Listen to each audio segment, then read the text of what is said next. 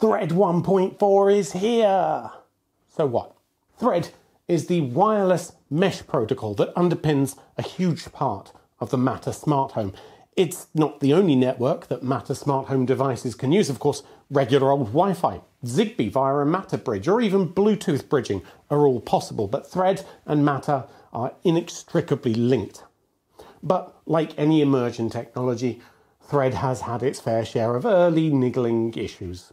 In this video, we'll be exploring Thread 1.4 and what it means for the Matter smart home. I'm not going to go over the full ins and outs of Thread on a technical level because we already have a whole video on that elsewhere. Link in the description or hopefully on a little card up there. I'm James, you're watching matteralpha.com, home of all things matter in the smart home. Briefly though, Thread is a low power mesh network based on existing IP standards, which makes it easy for manufacturers to adopt and integrate into their products and makes it perfect for a smart home. So what's the big deal with Thread 1.4? Let's break it down.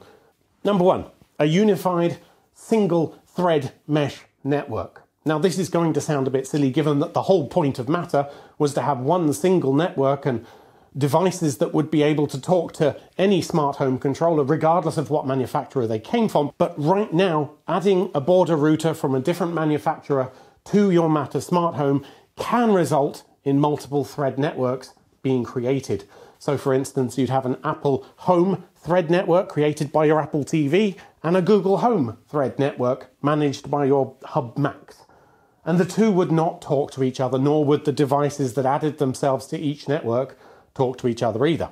Thread 1.4 fixes that by standardizing the process for sharing credentials, thereby making it easier for devices to trust each other and play nicely. This will have the happy byproduct of potentially making your mesh extend further and increasing the range. Unfortunately, this is not going to work with your existing network. Google VP of Thread Network has said that it will only apply to new border set router setups, so you'll need to factory reset this if you want to benefit from that eventually once it's rolled out. Though it isn't clear if he meant just resetting the border router or every single thread sensor and device you ever connected to it. Number two, cloud connectivity. Thread 1.4 introduces a way for devices to connect directly to the cloud, to the internet, via your Thread border router. What's a Thread border router? I'm glad you asked. Again, we've got an entire video on that. But one of the fundamentals of a Matter smart home is that devices should be locally controllable without requiring a cloud connection. And a few weeks back, I tried this to varying success. I wrote that up as an article on matteralpha.com if you're interested, but TLDR, they pretty much all worked from the Apple Home app itself, but within the manufacturer's app, mixed results. But anyway, the ability for devices to access the internet securely by themselves has a number of advantages without taking away the core features of a product. For instance, being able to react to weather changes without needing a separate home controller sort of automation involving weather, or allowing for easier device updates. It may also allow for more reliable remote control bypassing your Matter controller again. However, before the privacy conscious among you scream and shout at me, this feature should be entirely optional. It will be optional when it's rolled out. You will be able to disable direct internet access at the border router level, so your Thread devices will only be able to work locally if you so choose. Number three, extended range and reliability. Thread 1.4 allows border routers to use both Wi-Fi and Ethernet to extend the range of a Thread network, a bit like how Wi-Fi extenders work. So this half of your house might be a dead zone for Thread, but by adding another border router there, you'll have an existing Thread network extended over to here. And that kind of relates to point one when we talked about credential sharing between border routers. Number four, simplified onboarding and troubleshooting. So whether you're a developer or an end user, right now the Thread network is a, a, little bit like a black box. There's no easy way to delve into the Thread configuration and diagnose any issues that you might have with a device dropping off.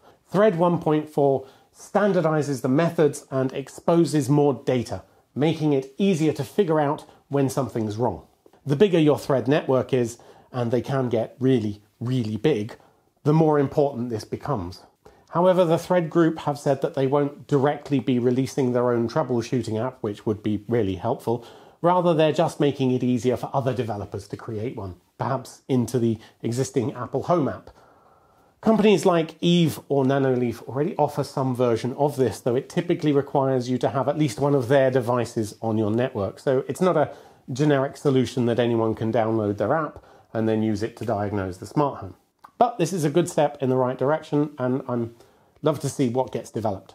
Number five, secure wireless onboarding. Right now, you need to be physically able to access a Thread device to add it to your network, either by scanning a QR code or pressing a button to confirm your connection. But what if the device is in a hard to reach place, like in the ceiling or in the wall? Well, Thread 1.4 has introduced ways to onboard a device without being physically in contact with it. And it's all about using a secure uh, message transport layer. Brilliant. So, can you benefit from Thread 1.4 right now? Eh, not so fast. While the Thread 1.4 specification might have been updated, it's going to be at least a year or so before we see these updates being pushed to consumers, if at all.